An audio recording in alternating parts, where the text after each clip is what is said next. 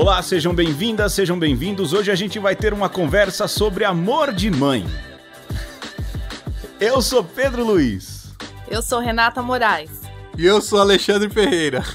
Pois bem, Alexandre, que agora hoje trouxe sua digníssima esposa, mãe da Alice, que vai fazer participações pontuais e esporádicas. Afinal, ela tá no mesmo cômodo aí que vocês estão gravando, não é isso? Isso, a família toda reunida aqui.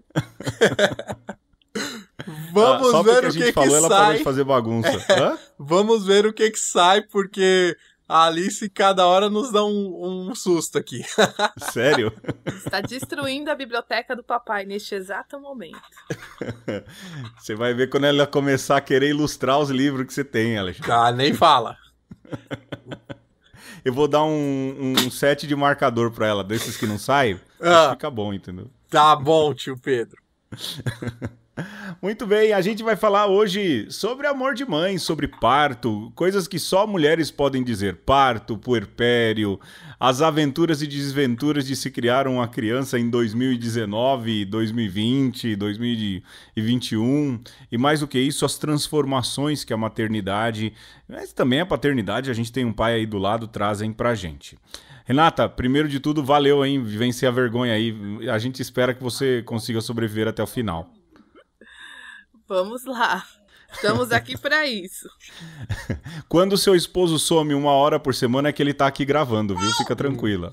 É, ela sabe, é- ela inclusive fica perguntando depois. Você sabe que a, Renata é a nossa segunda revisora. Pois é. Revisora? Eu fico ouvindo quando vocês Olha aí, estão- tá vendo Depois só? termina a revisão, a edição. Mas também, quando ele some mais de uma hora, aí ele fica com a louça do jantar, né? Tem que ter uma troca justa. É justo, é justo, é justo. E você sabe que melhoraram, viu, Renato? Eu não sei se é você que passa isso pra ele, mas melhoraram as revisões depois que você começou a revisar, viu? Toda vez tem alguma coisinha que ele manda de correção. Agora eu descobri de onde vem, Alexandre. É, é isso mesmo.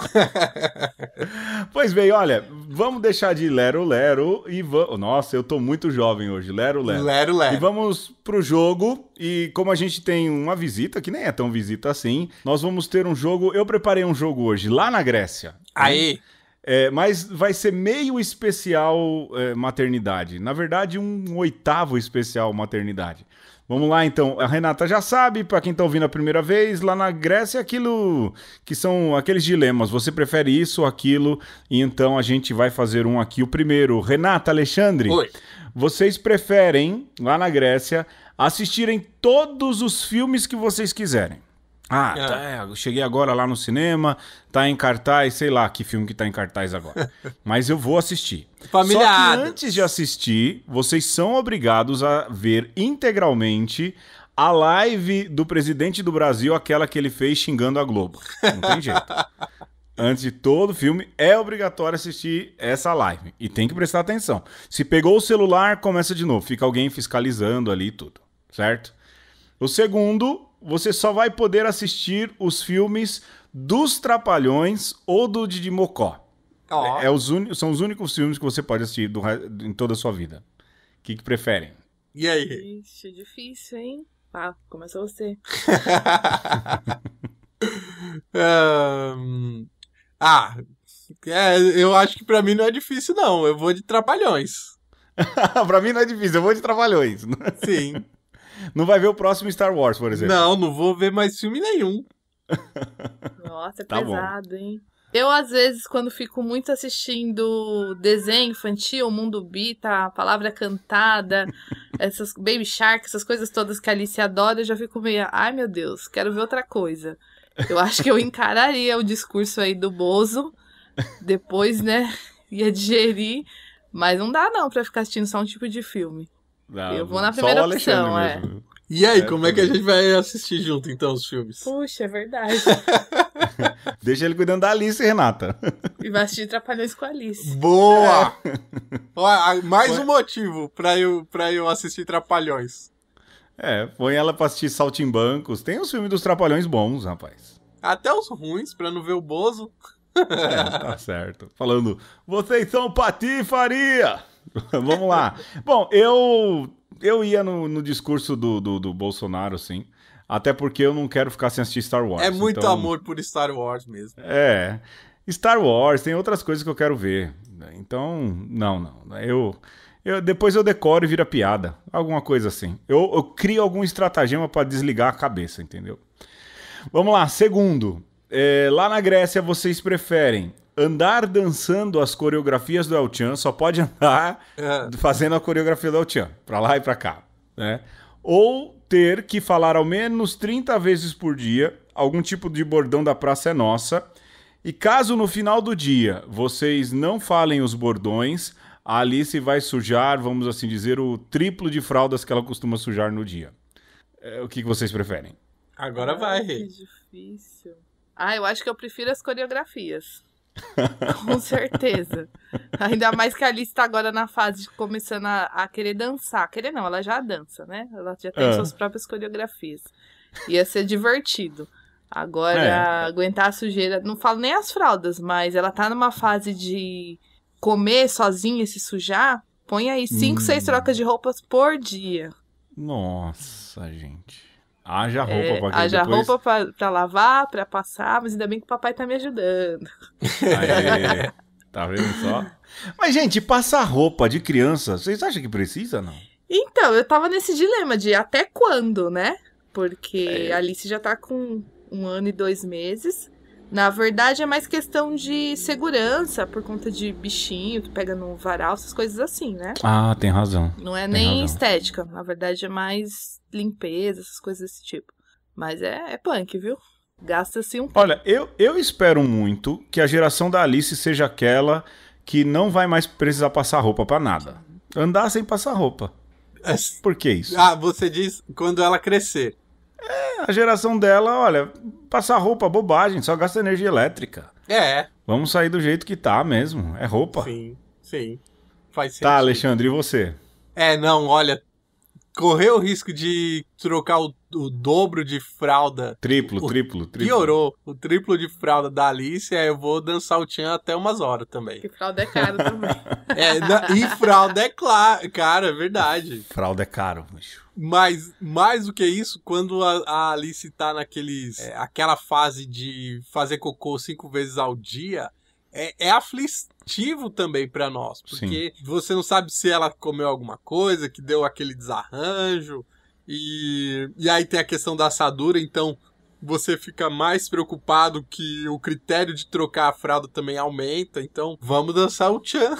Dança da cordinha. Aproveita que ela tá aprendendo a dançar, ela propõe as coreografias, não tem problema. E dança, hein? Sério? É o passinho sobe e desce, sobe e desce, né? É o passinho sobe e desce, é a mãozinha pro alto. A, é. a, música da, que o, do Mariana conta um, canta dois, ela faz com os dedinhos. Sério? Esse dia eu vi uma criança dançando uma música e ela faz o clássico limpador de para-brisa, sabe? A ah, mão em ah. frente do rosto, assim. Sim, é perfeito. Que é o único passo que eu sei fazer de dança. Ai, chega de coisa, gente. Vamos pro tema, bora. Vamos lá.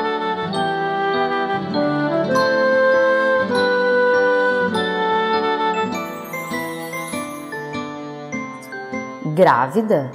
Não entendi muito aquilo. Não conseguia acreditar, muito menos dar significado. Riso e choro se misturaram. Então já sou mãe? Como assim? Mesmo sem entender, minhas mãos um pouco tímidas começaram a passear pela barriga e veio a conexão.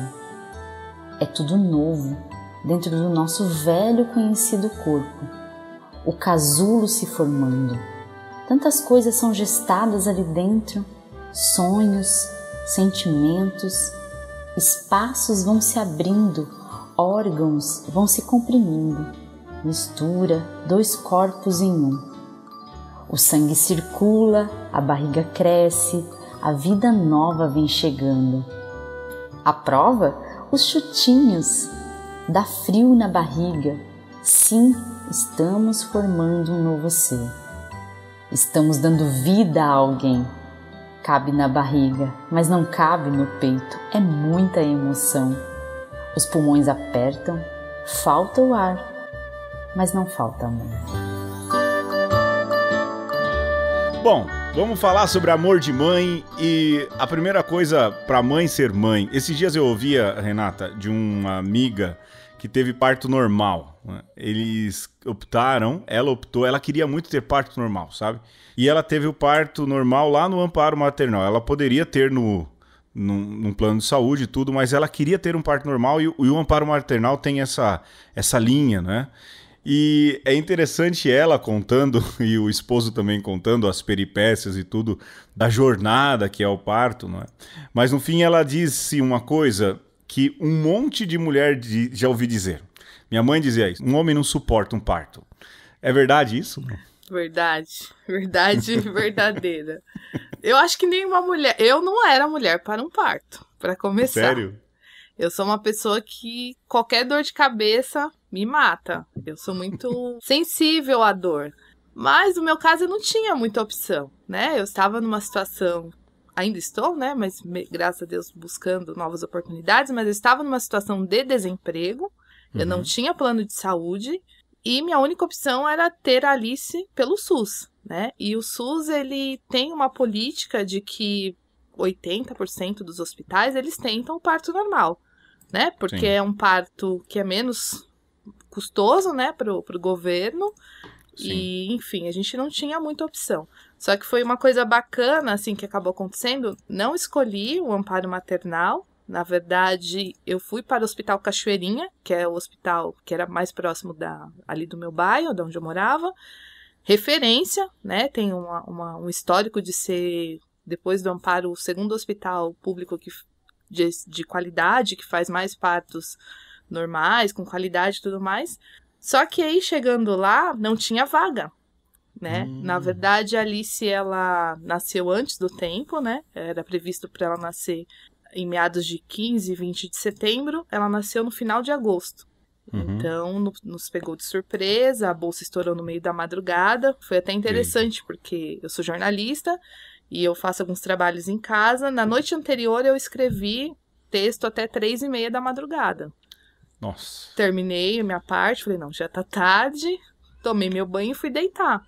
Quatro e meia da manhã acordei com dor. Cinco horas a bolsa estourou. Nossa. E não estava prevista, na verdade, eu não estava preparada. Eu sabia que, na, na minha cabeça era, vai chegar setembro, né? Alice está prevista para nascer até o dia 20, então lá pro dia 5, dia 10 eu vou começar a me preparar. Ler. Lá eu piso no freio, é, né? É, falei, vou ficar mais tranquila, né? Já vou ter entregue os, os últimos textos que eu tenho que entregar, tudo mais. Não deu tempo, não deu tempo, foi no tempo dela. E enfim, eu fui para essa maternidade, pro Cachoeirinha, chegando lá não tinha vaga, e eles simplesmente falaram, olha, tem para mãe, mas no caso se o bebê nascer com algum problema que necessite de ir para uma UTI, a gente não uhum. tem vaga na UTI, então para a segurança do seu bebê a gente tem que transferir você. E aí já começou o desespero, né? Porque mãe de Sim. primeira viagem, né? Eu já eu falo que é uma, uma maternidade mais madura, né? Eu fui mãe uhum. aos 36 anos. Sim. Hoje eu tenho 38. Mas eu tinha todos os medos e todos os receios de uma mulher que sabe que vai gerar o seu filho, que vai parir. Assim que a bolsa estourou às 5 da madrugada, eu já corri para o hospital. Eu não fiquei em casa esperando o que ia acontecer.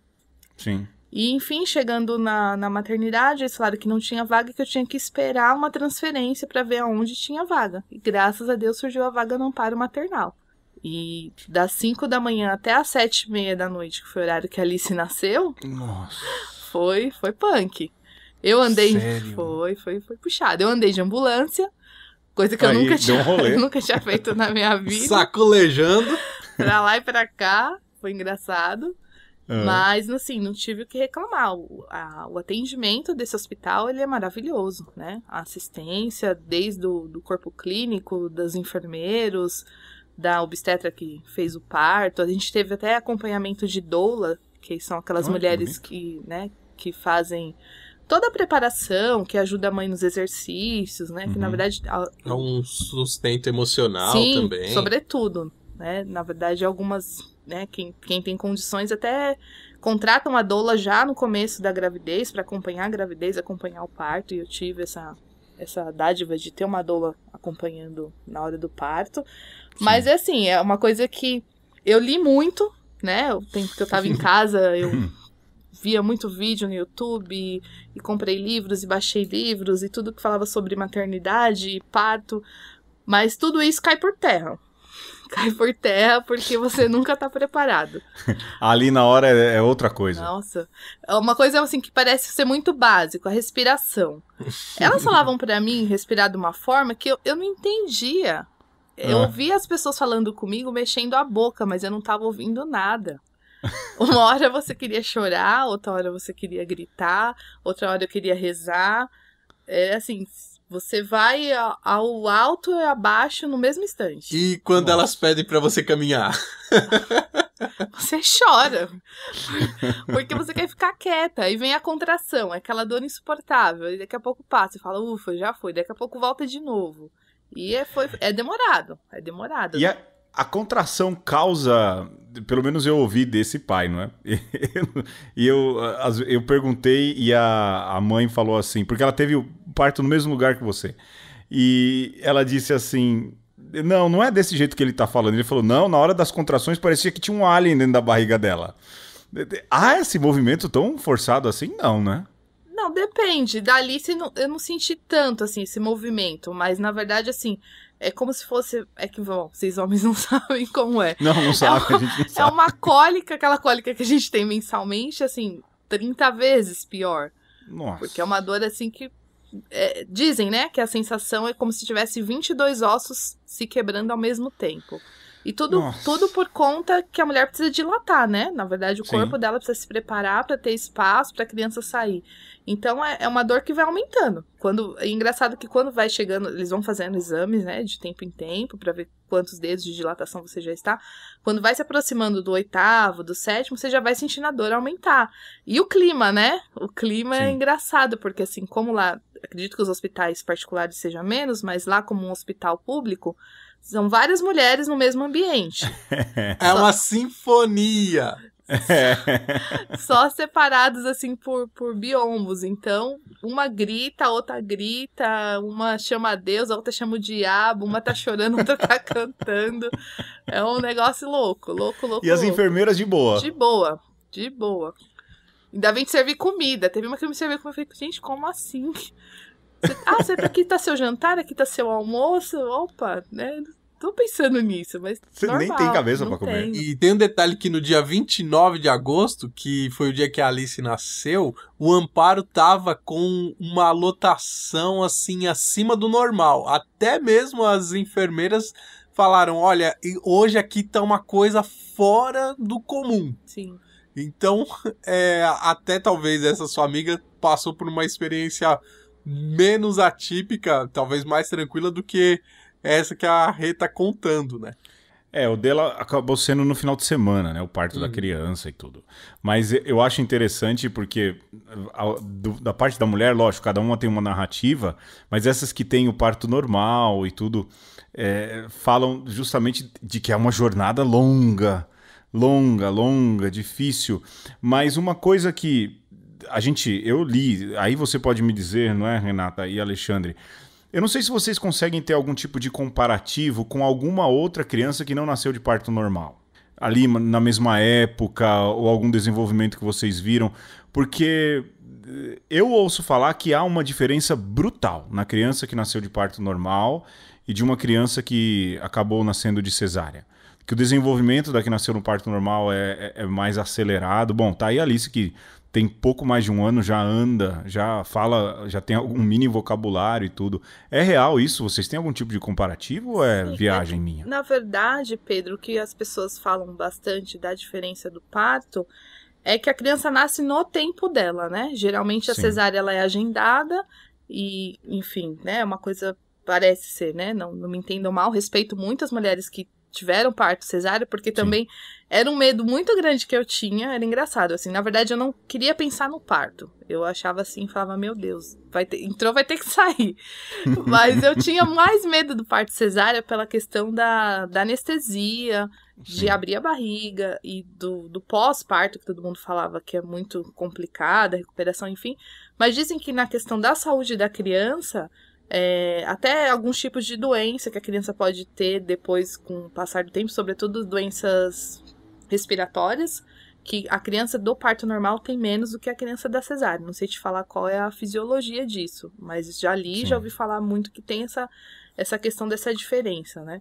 E assim, por mais que é, foi um trabalho, no nosso caso nem foi tanto, foi a Alice, né, a bolsa estourou às 5 da manhã, ela nasceu às 7h27 da noite, mas tem pessoas que, às vezes, mulheres que levam até dois dias, ficam ali 40, 45 horas, até uma amiga nossa, sua amiga também, a Nayá, tava contando Sim. um pouco do parto do Francesco, ela falou, foram mais de 40 horas, assim. Nossa. Né? E, e, e graças a Deus, no meu caso, não precisou induzir, porque geralmente eles dão ocitocina, né, para ir induzindo as contrações, para aumentando a dilatação.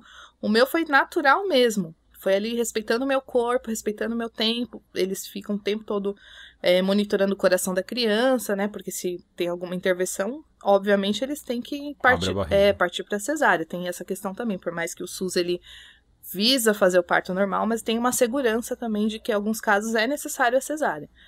Mas assim, foi, vai, foi, vai acontecendo. E chega uma hora assim que você entra em transe. Eu falo que foi a hora que você entrou na Partolândia, que ali você olha as pessoas conversando, você não, não escuta, você não, não enxerga mais, você quer xingar. Eu lembro do Alexandre dando notícias pra minha família e eu Sai do celular! O que você tá no celular? Pelo amor de Deus, olha aqui! Sabe? Você sai de você. Você sai de você, porque é uma dor terrível e você quer que aquilo acabe logo. E foi engraçado, porque aí quando chegou mesmo na hora do, do expulsivo, né? Que é a hora que você. Que na verdade, como o Alexandre disse, naquele dia no paro maternal, no mesmo momento que a Alice nasceu, nasceram outras 18 crianças. Que Olha, pode, já pode construir aí um conto de ficção científica. Pois às é. 18. às 18 então, Cada uma com um superpoder. Às 18 do dia 29. Academia do é. Guarda-Chuva. É, vai. É Umbrella Academy. E pensa, com a mesma equipe de parto. Tanto que a gente acho, teve uma hora que a gente ficou, nós ficamos sozinhos no quarto, porque a, as médicas, as enfermeiras obstetras estavam se revezando, porque tá nascendo, elas corriam para outro quarto. E a doula precisou ir embora, né? Ela uhum. deu todo o suporte até o horário que ela pôde ficar. E chegou um momento que só ficou eu e o Alexandre na sala e eu senti, eu falei, ela tá vindo. Falei, pronto, falei, segura, né? A gente achou, falei, agora ela o vai Alexandre nascer. falou, pode deixar que eu vou fazer esse pai. É, falei, é com você, né?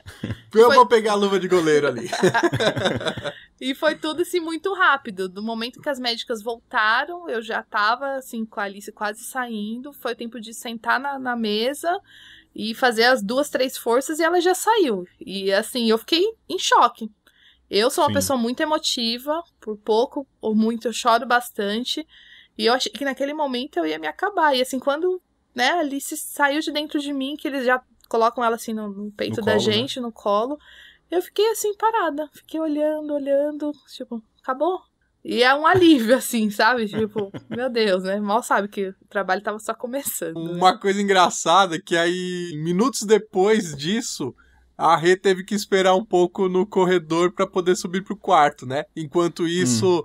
é, as enfermeiras estavam lá fazendo os primeiros cuidados da Alice e tal, né? Dando aquele banho primeiro ali, primeira higiene. E aí tinha uma menina que eu acho que tinha uns 17 anos, né? Segurada na mão da mãe e chorando e gritando lá. Aí, pedindo cesárea. Pedindo cesárea. O que, que você falou, Rê? Foi, foi, foi cômico, assim, né? Porque fazia o quê? Meia hora, 40 minutos que eu tinha parido a Alice já me achando a super mãe, né? Nossa, agora você já sei tipo, tudo. tipo, muito experiente, né? Super experiente. e a menina gritando, mãe, por favor, cesárea, sabe? Você era novinha, acho que não tinha 17, devia ter muito menos, assim, ela pequenininha, assim, adolescente mesmo. E aí eu uhum. comecei uhum. a consolar. Falei, fica tranquila, vai dar tudo certo. Daqui a pouco você vai estar com seu bebê no seu braço. Respira. E fiquei lá dando conselhos de super mãe pra menina. Tinha 40 minutos que a Alice tinha nascido e eu já tava me achando a, a doutora, né?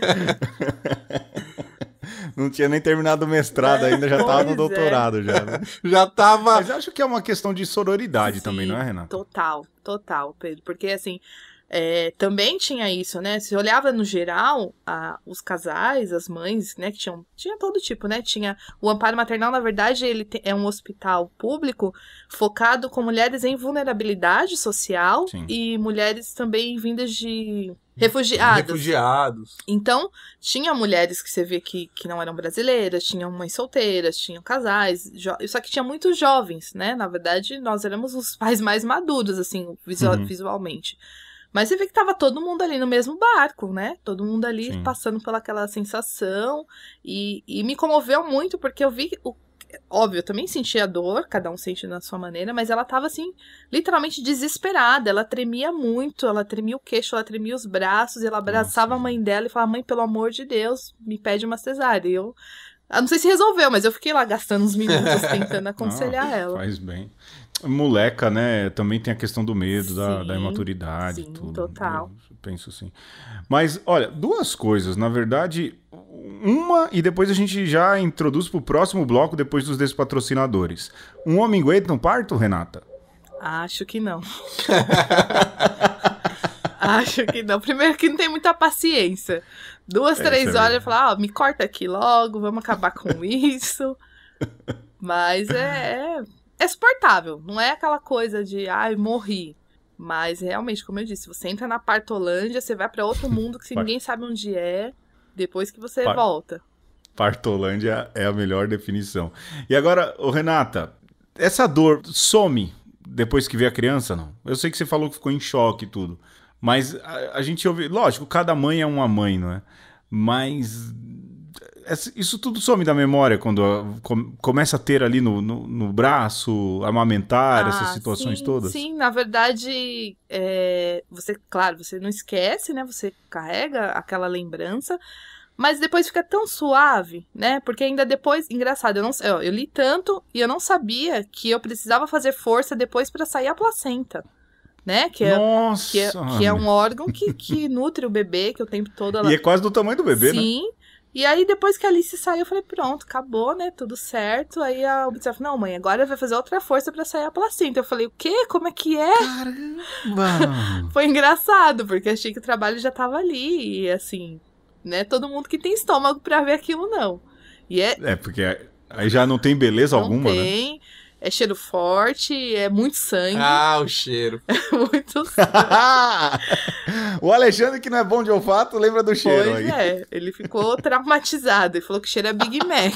Cheira a Big Mac. Sério? Cara, eu não. Assim, a memória olfativa do nascimento da A Alice carne do Big Mac. é a carne do Big Mac. Assim, o amparo inteiro tem aquele cheiro de... de McDonald's? de McDonald's. Aquela carne Rapaz, eu já visitei o Amparo algumas vezes, É. mas eu nunca fui nessa é, parte. na ala de parto, lógico, né? Olha. Não, e é engraçado, porque na, na noite do nascimento, né? Tinha aquela coisa da sinfonia das mulheres gritando, né? Umas pedindo Ah. pra morrer, outras xingando, outras chorando. Tinha um monte de coisa acontecendo ao mesmo tempo. Na noite seguinte, era a sinfonia dos bebês, porque aí você sobe pro próximo andar, né, gente? Eu fiquei dois dias internada. E aí é engraçado, na madrugada, assim, que óbvio, ninguém dorme, né? Aí que os bebês entendem que eles nasceram. E Alice, no- na primeira noite, eu fiquei sozinha com ela. Na segunda, na verdade, né? E aí eu lembro que ela chorava muito, o quarto é dividido, né? Até em, em respeito à outra mãe com outro bebê que tava dormindo, eu saí com ela, falei, deixa eu dar uma volta, ver se acalma essa criança. Eu Sim. levei um choque, porque quando eu abri a porta do quarto, tinha mais mães no corredor do que mães dentro do quarto. Cada uma com seu pacotinho ali embrulhado, assim, duas e meia, três da manhã, e as crianças no berro. Aquele berreiro só, a noite toda. E é aquela coisa mesmo pra você entender, olha, chegou, né? Agora você é mãe, tá aqui sua criança chorando, e cada um dá um jeito no seu.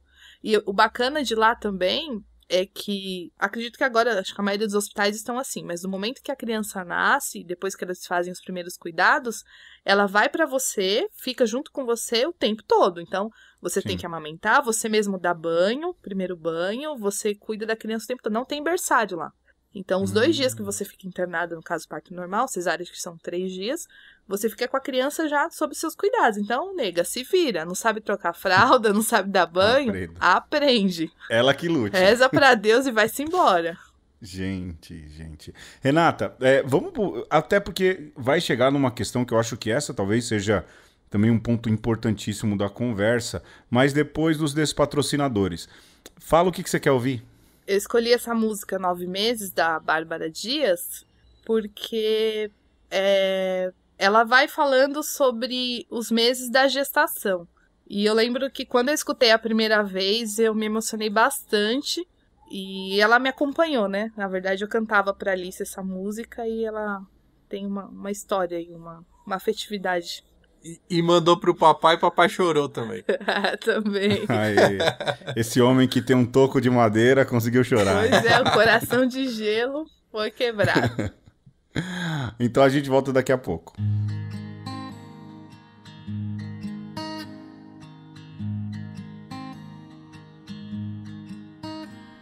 Um mês o tempo voa, eu já sou, e você nem descobriu. São dois e chega perto, mas eu ainda sou pequeno demais, viu? Três meses e o tormento, esse teu sofrimento, eu também já posso sentir. Vê se aquieta o coração pra quando eu sair daqui. Talvez eu dê trabalho, uma vida de despesas, mas por favor me deixa ficar. E se por um acaso eu não tiver seus olhos, você ainda vai me amar. Eu sei que a ansiedade é quase uma inimiga, mas eu não quero ser confusão. Então, por favor, me deixa na sua vida, mas vê se aquieta o seu coração. Se é tempestade, todo medo, se for arrependimento, por favor, tira daí. Você ainda não me tem inteiro, nem me conhece direito, mas já posso te ouvir. E quando a barriga for crescendo, você ainda vai ser linda. Eu nem preciso te ver. Seca o choro e fica aqui comigo, que até assim, tristinha, eu já sei que eu amo você. Quatro meses tempo, eu te imploro paciência. Eu vim do céu por causa do amor.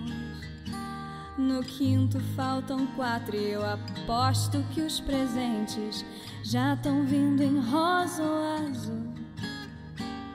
E quando chega o sexto, todo mundo já vê que você não anda sozinha.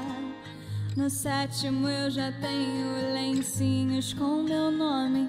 Desculpa, pai, mas ela é só minha. Se é tempestade, todo medo. Se for arrependimento, por favor, tira daí. Você ainda não me tem inteiro, nem me conhece direito, mas já posso te ouvir. E quando a barriga for crescendo, você ainda vai ser linda. Eu nem preciso te ver. Seca o choro e fica aqui comigo, que até assim, tristinha, eu já sei que eu amo você.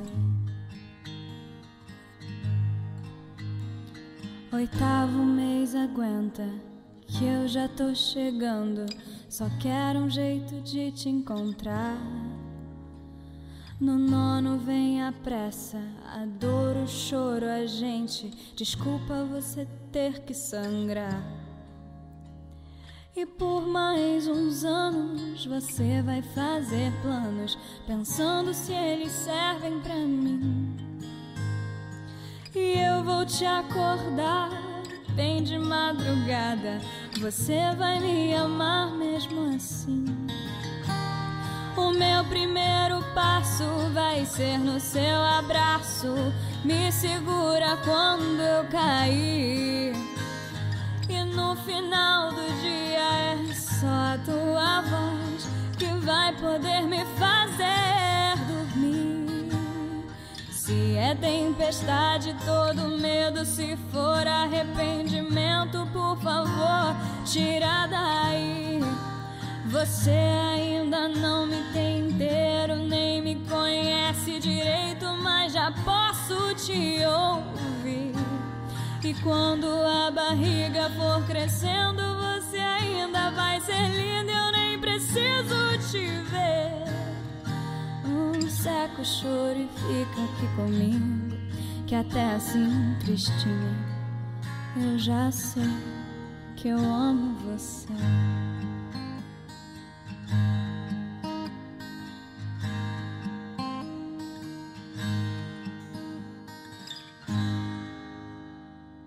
Nós estamos hoje falando de Amor de Mãe. Não, não estamos falando da nova novela das nove. estamos falando da experiência real oficial da Renata Moraes, meu amor. Oh. E assim, o Pedro falava: homem não aguenta, homem aguenta. Mas, Pedro, homem não sabe nada de maternidade. Assim, a experiência da paternidade é outra coisa. né? Porque você percebe o quanto a relação da criança com a mãe é simbiótica, né? Foram uma coisa só durante nove meses e agora elas vão ter que se entender como coisas distintas. E isso é muito louco. E aí, eu acho que é interessante nós ouvirmos da Renata um pouco dessa experiência do puerpério. Af- Afinal de contas, o que que é puerpério, Renata? É, é, na verdade, depois que o bebê chega em casa com a mãe, né? São as primeiras semanas ali da vivência de mãe e filho. E eu lembro que eu tenho uma amiga que né, já é mãe, tem dois bebês, tudo. E ela me falava muito isso. Se prepara pro puerpério, se prepara depois que você chegar em casa, que aí o bicho pega. Na verdade, mu- muito, por muito tempo se falava em depressão. Na verdade, existe a depressão pós-parto e o puerpério ele é muito confundido ainda como uma depressão. Porque assim, é uma tristeza sem fim. Você tá voltando pra casa com seu bebê nos braços, seja ela uma gravidez planejada ou não, mas você tá ali no momento de, poxa, estou levando meu filho pra casa. E eu lembro assim que no, no segundo dia com a Alice em casa, segundo ou terceiro dia, eu deitei no colo da minha mãe e eu chorei. Eu chorei e falei, Mais que a Alice. eu quero a minha vida. Mais que a Alice. eu falava pra minha mãe, eu quero a minha vida de volta. Eu quero dormir. Essa menina me acorda a noite toda. Eu não quero ela aqui. Eu falava desse jeito. E era um sentimento que você não controlava. Eu falava, mas como você fala isso pra um bebê, né? Com um bebezinho de Sim. dois, três dias De- e de um bebê, né? de um bebê. E na verdade são os hormônios que ainda estão no seu corpo, né? Porque também tem essa parte, a gravidez você fica oscilando ali em altos e baixos. Se você acha que a TPM é ruim, né? Como mulher que fala, ah, meu Deus, tô de TPM. É uma TPM que vai durante os nove meses e mais pelo menos os três ali do porpério. Nossa. Então você fica com a cabeça a mil. Uma hora você tá chorando, outra hora você tá com raiva, outra hora você tá brigando. E, e é uma coisa que você não controla, né? Os hormônios realmente ele modificam muito a mulher. E eu tive muito, assim, meu porpério ele foi pesado é, esses primeiros dias, porque me falavam, dorme, dorme bastante. Realmente, eu dormi bastante. Eu tava, estava desempregada, então eu tinha ali as minhas tarefas de casa, alguns poucos trabalhos freelancer. Mas quando eu não estava fazendo isso, realmente eu estava dormindo. Sim. Mas não adianta, porque o sono ele, né, se renova, você tem sono todos os dias. E, e o bebê, ele te acorda realmente de hora em hora. Eles te mandavam dormir aí- antes justamente pra talvez estocar um pouco. Sim, mas não adiantou. Não adiantou. E eu lembro, assim, essa cena ficou muito forte, assim, gravada. Eu deitada no colo da minha mãe, ainda, né, de camisola, né, porque você fica ali aqueles dias, né, se, se curando. O corpo, por mais que é um parto normal, ele fica dolorido ainda, né? Você não pode sair, tem gente que fala, ah, fez parto normal, já pode sair dançando. Não, você não vai Sim, sair dançando, é né? assim. Tem que se cuidar e tudo mais. E eu lembro de eu chorar copiosamente pedindo pra minha mãe levar a Alice, porque eu não aguentava, que eu queria. E, é, e aquela coisa, né? você muda a chave. Antes você era uma mulher, sozinha ou acompanhada, você tinha sua rotina, seja seu trabalho, sair com seus amigos, e agora até o simples ato de você ir ao banheiro, você não vai mais porque você tem, você vai, mas você tem uma criança que depende de você. Uhum. Então, até você ligar a chave para isso, levei muito tempo para entender. E meu puerpério foi de muito choro, de, de muita solidão. Até eu, eu postava um, um tempo no, no meu Instagram, usei um pouco dessa ferramenta para falar sobre o assunto, porque é, não tem jeito. Você tem, pode ter uma roda de amigos grande, uma aldeia grande, que no caso a aldeia a gente fala com as pessoas que nos acompanham, Uhum. no caso os pais, os avós, os amigos próximos, os irmãos. Mas na hora do vamos ver, é você e a criança, você a criança e o pai. E eu me sentia muito sozinha, Sim. muito sozinha, né? Enfim, tem outras questões da gravidez, porque eu também não desejava ser mãe, e eu também não divulguei a minha gravidez, muitas pessoas nem sabiam que eu estava grávida, enfim. Mas o meu puerpério foi regado a lágrimas, regado a muito choro, e ao, ao mesmo tempo que eu estava feliz porque eu estava com a minha filha, eu ficava lembrando da minha vida antes da Alice, Sim. e, e muitas vezes assim, né, você quer sair, você quer ir na rua, eu sempre tive uma vida muito ativa, né, eu trabalhava, eu estudava, eu fazia pós-graduação. Ainda mais sendo jornalista, né? Que é uma coisa que não tem lugar fixo, né? Sim, falava com muitas pessoas e aí eu me via o dia todo só cuidando do bebê. O dia todo trocando fralda, dando banho, é, acalentando. E aí vem as primeiras dores, que no caso são as cólicas. A Alice, com 12 dias, já teve muita cólica. Puxa. A criança berrando a madrugada inteira. E eu lembro que eu tinha uma preocupação muito grande de não incomodar os vizinhos. Eu imagino. Eu- Eu acho que eu é, teria minha essa mesma. Quando você falou, eu pensei isso. Eu falei, caramba, como é que eu ficaria muito bolado com os vizinhos? Sim, eu ficava desesperada, ainda mais que tinha, tinha uma vizinha que, que trabalhava também é, um horário diferente, e às vezes o horário que ela chegava em casa para dormir era o horário que a Alice começava a chorar. Então eu ficava muito desesperada com isso. E você sofre junto, Uhum. né? A- a- as primeiras vacinas foi engraçado. A vacina de dois meses, que é a terrível, que a criança tem febre, a criança não mexe a perna, a criança fica chorando o dia todo. Eu já entrei na sala de vacinação chorando. A, a moça do posto não sabia se me acudia ou Eu se dava vacina na criança. dava vacina na criança. Até hoje ainda é uma dificuldade. Quando eu posso, eu deixo para Alexandre, eu deixo para minha mãe, porque é algo que eu não tenho coração, é aguentar ver a Alice sendo vacinada. Como é que é, Alexandre, levar a criança pra vacina? Cara, você vê aquela perninha pequenininha e aquela agulha com o dobro do tamanho entrando Do tamanho da na criança, coxa, né? do tamanho da criança entrando na coxinha da, da criança, mas era essa experiência. A Alice dava aquele berro na hora da picada e parava de chorar. E quando eu olhava pro lado, a Rê tava se acabando. Chorava até chegar em casa e mais um pouco. E mas é assim, a, a gente passa por momentos de medo que são muito viscerais mesmo, assim, muito instintivos. Então, nos primeiros dias é a criança sugar o leite da mãe, ela tem que aprender. Uhum. É um medo. Aí ela aprende, é uma vitória. Aí depois banho. Você vai dar banho na criança, é o medo de dar banho do jeito certo. Uhum. Aí depois você vai pegando o jeitão da coisa. E na madrugada, que a gente quase afogou a Alice, ou furou. Fala baixo que ela tá perto aí, gente. com 15 dias. Ela com muita cólica, já era o quê? Duas horas da manhã. Falei, vamos dar um banho de ofurô nela, aquele balde, Ah. né? Que falam que é bom pra cólica e tudo mais. Eu sei que eu fui pegar, deixei ela escorregar, ela caiu, o Alexandre não pegou. Falei, pronto, matamos a criança. Foi um, um- quase um batismo de igreja ortodoxa. Eu, ai meu Deus, você deixou a menina se afogar, pronto, e agora? É engraçado, porque o medo, ele passa a te acompanhar, né? De tudo. É me- A primeira febre dela, a primeira vez que ela teve febre, eu não dormi a noite toda. Eu fiquei de sentinela do lado do berço, Medindo a febre. medindo a febre e olhando e rezando e pedindo pra Deus, sabe? É uma coisa que, que hoje eu né, trato com mais naturalidade, eu consigo, né, lidar melhor, mas a primeira, eu falava assim, meu Deus, que dor é essa? Você quer tirar com a mão, sabe? Você fala, preferia que fosse comigo. Você vê aquele ser tão pequenininho, tão indefeso, era uma febre, toda criança Sim. tem, mas pra mim eu falava, meu Deus, tu- tudo eu achava que eu ia perder, Alice. Qualquer coisa eu achava, não, eu vou perder meu bebê. Não, vai acontecer alguma coisa e eu vou perder a Alice. É um, é um sentimento muito engraçado. Esse assim, medo de... povoou o puerpério todo, né? Sobretudo Todo. porque eh, não sabe fazer, não tem isso. Eu acho que se eu fosse pai, eu ficaria muito apavorado nessa questão de caramba, eu não sei como fazer. E você tem que aprender fazendo, mas o medo, acho que o meu, pelo menos, passaria por aí, né? Não sei se é o teu caso. Foi o teu caso, né?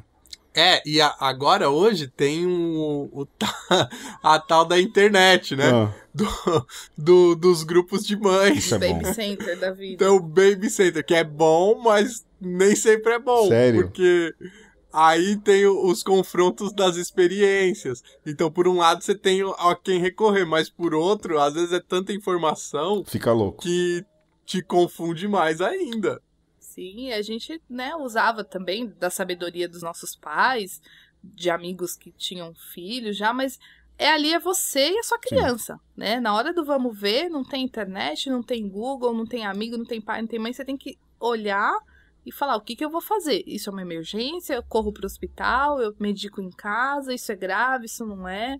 É uma, uma, uma verdadeira montanha russa. Eu falo que a maternidade, pelo menos pra mim, se pro Alê, é uma eterna montanha russa. E olha que a Alice já tá com 14 meses, né? Um ano e, E dois. dois meses, mas o tempo todo é, é essa agonia. Semana passada mesmo a gente passou um- uma ocorrência dela que tá nascendo os dentes. Sim.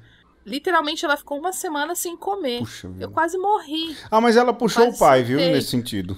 É, pois é. Porque o Até o Alexandre é um faquir também, né? Sim. Mas eu fiquei. Pior que é. Pior que às vezes ela come um pouquinho já ah, tô de boa. Tá de boa. E eu ficava, meu Deus, essa menina vai ficar desnutrida, vai ter que ir pro hospital, vai ter que tomar soro, e agora? E o Alexandre, não, calma, vamos tentar outra coisa, e não sei o quê. Eu já desespero, já choro, já, sabe, me, me desmancho. Na quarta-feira foram que oito pratos diferentes. Foi. Oito, Oito tentativas. oito tentativas, assim, uma fruta, outra, Um mingau, um mingau, um suco. suco, um legume. E no fim, o que, que ela comeu? Nada. Nenhuma das oito coisas. Sério? Leite materno. Leite. Veio Ah. pro peito. Ela tava com vontade de leite da mãe. Pois é. Mas veja, o Alexandre falou aí do mamar e vocês falando dos dentinhos e tudo. Se tem uma coisa na criação, é essas. Eu fico imaginando que são essas primeiras coisas, né? Primeira andada, primeiras palavras, eh, essas primeiras coisas. Como é isso, hein? Que ela andou primeiro do que falou, né? Não, ela fala desde os sete meses. Não brinca. Qual que foi a primeira A palavra? primeira palavra que ela falou foi papai. Nossa, que decepção, Renata. Papai. Aí você fala, eu gerei nove meses, eu sofri 14 horas de parto e a primeira palavra, papai. Explicado, não era pá, nem papá, nem não era um pai. balbucio, não. Papai. Papai. E a mamãe, ela demorou, né, pra falar. Demorou um pouco, Acho falou vovô Falou primeiro. vovô, vovó, cachorro, Bolsonaro, Lula. tudo. Lula ela fala, viu, gente? É verdade, Lula ela Lula fala. ela fala. Ai, gente. E mamãe e, e- foi e lá pros mamãe 10 foi uma das meses. últimas coisas. Foi uma das últimas. É porque é a mais importante, né? Porque É, ela melhor falou, não, essa eu final. tenho que caprichar, hein? Fora que pra ela, vocês não têm outro nome, né? Nem a Renata e nem a Ah, pois é, agora tem. Agora tem. Agora ela fala Renata. Ela fala Renata. Da É Nata, mesmo, na verdade. Porque ela ouve você falar, Alexandre. Sim, e o pai, o pai da Rê também O meu pai ensinou. ficou trolando a gente, ensinando, ela fala. E Ah, quando é? eu falo Alexandre, ela sabe que Alexandre é o papai. É, Ah, mas o, o, ela sabe que é outro fonema pra aquele que ela chama de pai. Sim. o seu Nelson, o pai da Renata, é um barato, assim. Ele ensinou muitas coisas pra Alice, assim. Essas coisinhas graciosas, né? É, com a Renata, ela aprendeu muitas coisas, assim, vamos dizer, do, do dia a dia. Mas essas. Técnicas. ma- É, as, as coisas.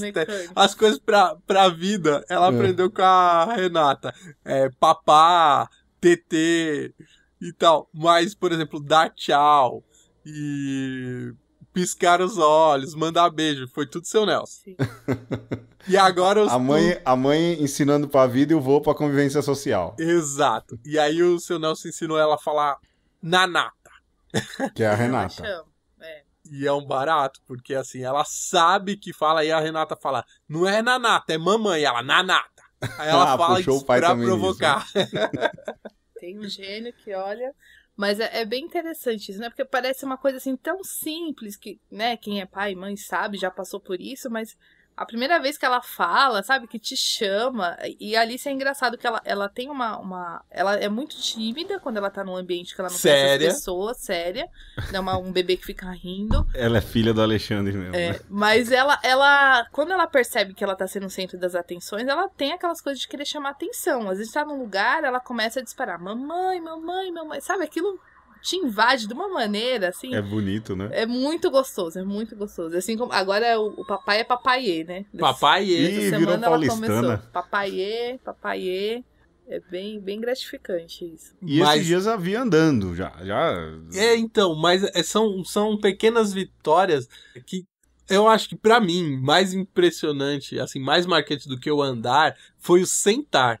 É quando, mesmo. quando ela deixou de ser uma criança é, que só ficava deitada ali e passou a ser uma criança que sentava.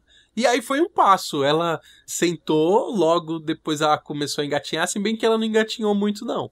Ela engatinhou assim umas duas, três semanas E Já começou. já começou a ficar de pé, se segurando nas coisas, começou a andar.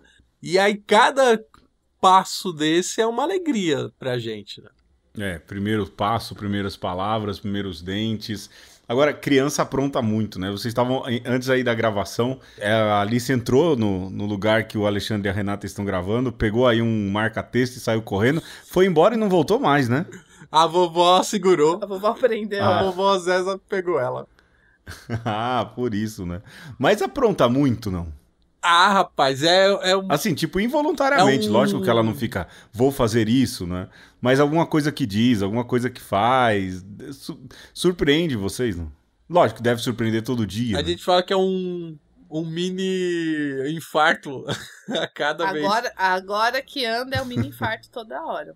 É uma quina que você fica com medo de bater a cabeça. Na verdade, quando ela começou a andar, que hoje exatamente 12 de novembro tá fazendo Olha um mês que ela começou a andar, que eu sou Tem que dessas que, eu marcar, marco tá até o dia. eu Marcar as datas coisas. importantes é importante. Sim, foi no dia das crianças, Olha dia aí. de Nossa Senhora Aparecida. Ela, duas horas depois que ela começou a andar, ela caiu, que fez um, um machucado Hum. enorme no rosto, assim, sabe? Aí eu fiquei desesperada, meus pais falaram, calma, vai ser sempre assim agora. Eu falei, meu Deus, a menina faz duas horas que tá andando e já se machucou feio. Fez um rasgo na cara. E desde os primeiros dias foram assim, ó, agora não, agora ela já cai, ela já levanta. Agora há pouco o Alexandre pegou ela debaixo da cama, que ela escorregou no tapete, tava com a cabeça embaixo mesmo. da cama. E ela levanta como se nada Já tivesse acostumou. acontecido. Às vezes eu que dou um grito, é, e ela tá tudo bem. Levanta plena e vai fazer outra coisa. Uma coisa fofa também que ela fez, assim, que também a gente ficou assim, com cara de pai babão, foi uma vez que nós estávamos é, visitando o Hum. Zé Roberto, né? Lá na Igreja da Consolação. E o Zé Roberto, que já participou com a gente lá no episódio do Exorcismo, tava lá fazendo a missa de cura e libertação. E aí, passando com o Santíssimo assim, a Alice levanta a mão, assim.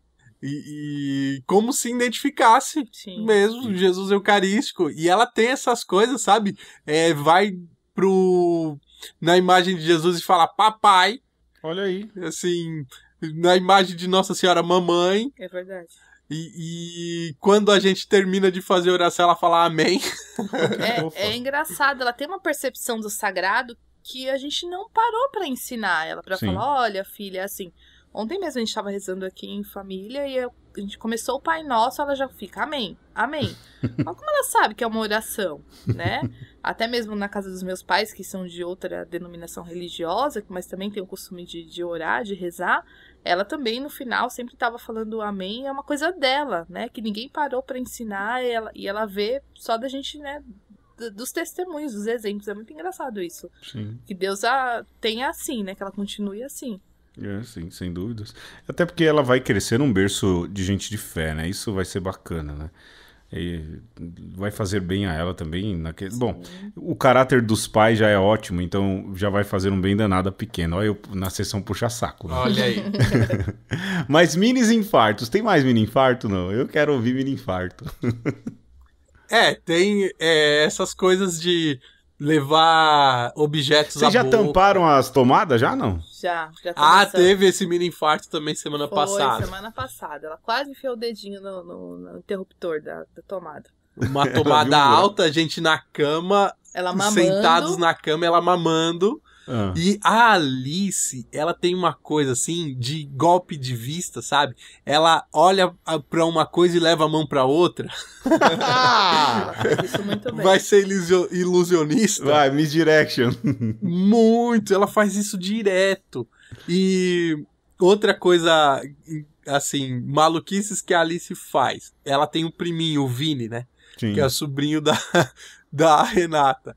E até bem pouco tempo atrás, o Vini fazia o que queria e ela era assim, levava na boa, digamos assim, ou, ou não sabia muito se defender. Rapaz, agora é cada patada, cada unhada. Não brinca. Ela revida. Ela revida. Tá certa, tá certa. Ela tá vai certa, ser, eu acho que na escola ela vai ser daquelas que vai chegar e falar: Olha, eu briguei na escola, bati em Fulano, Fulano me bateu, eu revidei.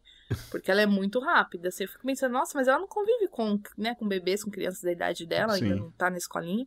Mas ela tem uma percepção muito rápida. Se pega o brinquedo dela, ela corre atrás, ela pega, ela revida. Gente. É, é curioso como é uma personalidade, por mais que o pai e a mãe tenham uma personalidade, ela vai desenvolvendo a dela, né? Não, E, e é super interessante como uma criança de um ano, um ano e pouco, já demonstra. E eu acho que a Alice já demonstrou personalidade bem cedo, né? Sim. Assim, sempre muito comedida, não dá muita risadinha. Quando quer alguma coisa, ela já, já demonstra. Você tenta persuadi-la, ludibriá-la. E ela não esquece Você não as engana, coisas, você não, enganar não consegue enganá-la. É, é muito engraçado isso. Agora, um pouco para terminar, já no fim, ô Renata, esses dias eu vi, eu não tô comparando, imagina, mas uma mãe falando assim: ah, lá pro quarto filho eles se criam sozinhos, a gente já tá craque. né? Parabéns. a gente esquece até o nome, troca o nome e tudo. Mas você tá na primeira. Tem uma vou Renata antes, permanecer uma Renata. nessa. Como? Estou na primeira e vou permanecer só nessa. Ah, Agora eu te pergunto. Ah, eu. Bom, Gente, vamos voltar para a pauta, por favor? vai virar casos de família. É. Renata, você era uma. Lógico, é óbvio que era, mas no que, que você era uma Renata antes e e como você é uma Renata depois, Alice? Nossa, mudou tudo, né? Muda tudo. É, como eu disse, por muito tempo eu fiquei também nessa crise de que eu não sabia mais quem eu era.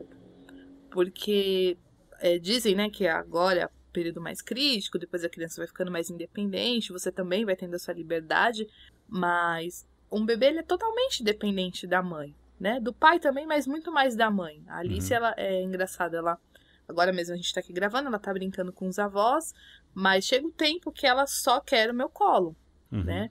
E, e é uma demanda muito grande que eu, sinceramente, eu não sabia que existia, né? Porque eu, não, eu sinceramente, eu nunca tive o desejo de ser mãe, né? Foi uma gravidez não planejada. Pra mim, isso não fazia parte do meu projeto de vida. E levou-se um tempo pra eu aceitar a gravidez. Até Uhum. o quinto mês, eu olhava pra minha barriga eu sentia raiva. Eu falava, é até horrível, assim, mas é a verdade. Quem me conhece mais de perto sabe. Eu até Uhum. publiquei um texto no, no meu Medium em maio de 2017 dizendo qual o problema de eu não ter filhos. Que ainda não era- O Alexandre, tava grávida, ali o, o link do Medium da Renata, hein? Tá. porque era algo assim que, que eu tava vendo uma época que todas as minhas amigas estavam sendo mães e todo mundo naquela cobrança. Eu falava, gente, me respeitem, eu não quero ser mãe, Uhum. né? Mas parece que Deus falou, não, peraí, você não quer, mas eu quero que você seja. Ah, é? Você vai ficar escrevendo ah, é? texto aí? Tá é? escrevendo? Peraí. É, tá, é, tá engraçado, assim, você lê o texto e depois fala, nossa, essa mulher que escreveu isso agora é mãe. Mas, É. assim, a sua vida se modifica totalmente, né? Desde a da questão do seu tempo, de você não, não ser mais senhora do seu tempo, igual eu falei antes, eu tinha uma vida ativa, eu fazia muitas coisas, mas, assim, é tudo tão, tão grande, é tudo tão maravilhoso, é tudo tão que você... Eu nunca imaginei.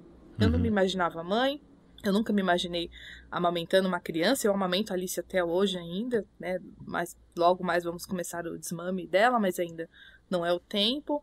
E ver aquela criança te olhar e te abraçar e te chamar de mamãe e, e, sabe, a recompensa é tão maior que eu fico pensando, poxa, eu ia viver essa vida sem passar por essa experiência, né? Eu não, hoje eu não me imagino, parece meio clichê, meio, ah, todo mundo fala isso, mas eu não me imagino sem a Alice. Eu olho para ela e vejo me vejo nela, os meus olhos, alguns traços meus, assim como vejo o Alexandre. Ah, ela é, é uma... uma... mistura de vocês, assim. É, muito. Uma mistura, né? O importante é ter saúde. ah, é linda. e é tudo, desde o momento que você acorda, né? Com a criança já te chamando e o momento que você vai dormir. E a gente viu como, quando ela fica doente, quanto que a gente. A gente se acaba, né? Semana passada mesmo a gente ficou assim, desolado. Sim porque, né, o tempo todo você fica ali, mas assim, é algo muito, muito grande. E eu passei a dar valor mais à minha mãe e as, a, a, tudo que ela fez e faz por mim, e as mães próximas a gente, a minha sogra, enfim, as minhas amigas que são mães, porque é uma entrega que, assim, que é verdadeira, que você faz sem perceber. É um cansaço enorme. Na verdade, faz 14 meses que eu não sei que é dormir uma noite inteira. Agora ela tá começando, né? Ela ia dormir a noite toda. A noite toda. Mas até um mês atrás ali, se não dormia a noite toda. E teve mudança de casa também, né? Sim, a mudança, a mudança. Ela sentiu casa. a mudança não? Muito, muito. Foi tudo na mesma semana. A mudança. Tá sentindo, Tá sentindo, ainda. né? Tá se adaptando.